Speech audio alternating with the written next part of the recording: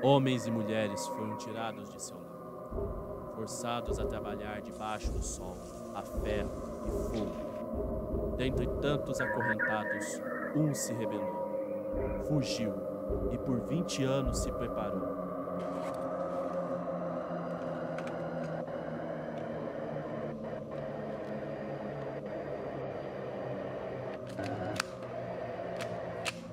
O jovem negro cresceu virou o pior pesadelo. Ele foi humilhado, ele foi torturado, ele foi escravizado.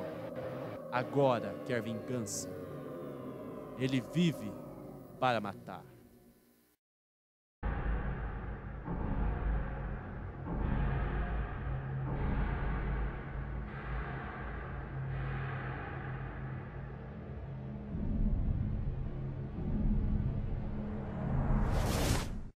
O Escravo da Morte. Em breve nos cinemas.